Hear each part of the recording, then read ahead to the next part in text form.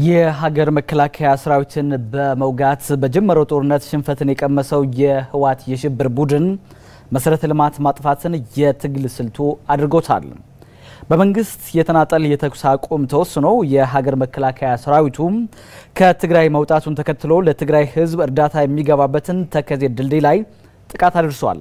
የጥፋት ቡድኑ የመሰረተ ልማት ማውደምን በተመለከተ አለምነህ ዛናው ተከታዩን ዘገባ አድርሷል። ጥቅምት 24 ቀን 2013 ዓ ም የመከዳት የመጨረሻው ጥግ በተግባር የተገለጠባት ጥቁር የታሪክ ክፍል ናት። የሰሜን እዝ አባላት ባመኑት የተከዱባት፣ ባፈቀሩት የተጠሉበት፣ መስዋዕት በከፈሉለት መስዋዕት የሆኑባት ቀፋፊ ሌሊት ነበረች። ምሽቱን ሁሉም የጥበቃ ቦታዎች በትግራይ ተወላጅ የሰራዊት አባላት እንዲሸፈኑ በማድረግ ከሃዲ ቡድን ሀገር ሰላም ብሎ ምንም ዝግጅት ባላደረገ የሀገር መከላከያ ሰራዊት አባላት ላይ ልዩ ኃይልና የሚሊሻ አባላት በጭካኔ ዘመቱበት።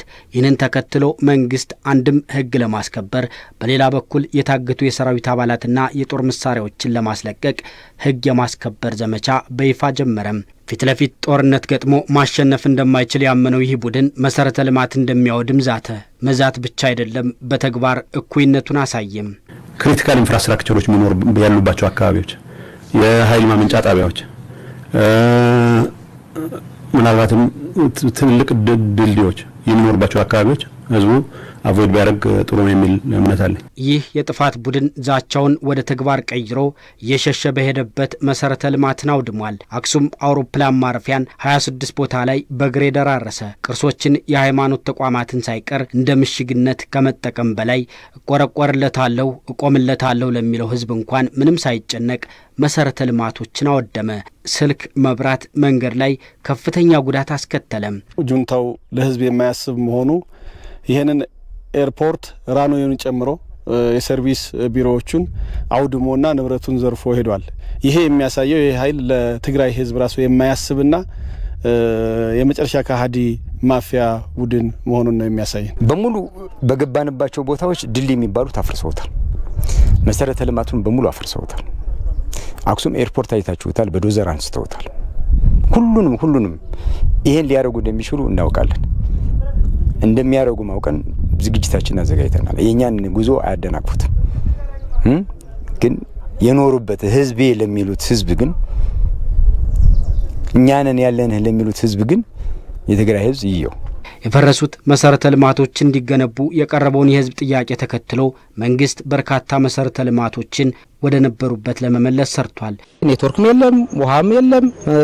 መብራት አሁን ሶስት ቀን አራት ቀን ተፈቷል፣ ከውጊያ በኋላ ማለት ነው። እና በአጭር ጊዜ እነዚህ የወደሙ የልማት አውታሮች እንዲሰሩ ነው ለመንግስት ጥያቄ የምናቀርበው። ስልክ መገናኘት፣ ስልክ ትራንስፖርት ራሱ የለም። የደረሰው ጉዳት በጣም ከፍተኛ ስለሆነ ያን መንግስት በተቻለ ፍጥነት ለመስራት እየስራ ነው፣ በብሩ ላይ ነው ያለው። ሆኖም ግን መሰረተ ልማቶችን መልሶ ለመገንባት የሚደረገውን ጥረት ለማወክ የሽብር ቡድኑ ወደር የለውም። የሚጠግኑ ባለሙያዎችን የጥቃቱ ሰለባዎች አደረገም። መብራት ለመቀጠል ሰዎች እየሄዱ ሞተዋል። ምግብ እያዳረሱ ስንዴ እየሰጡ ተገለዋል። ስልክ፣ ሌሎች infrastructure ለመገንባት ሄደው ብዙ አደጋ ደርሶባቸዋል። የሽብር ቡድኑ አሁንም መሰረተ ልማት ላይ የሚያደርሰውን ጥቃት አጠናክሮ ቀጥሏል።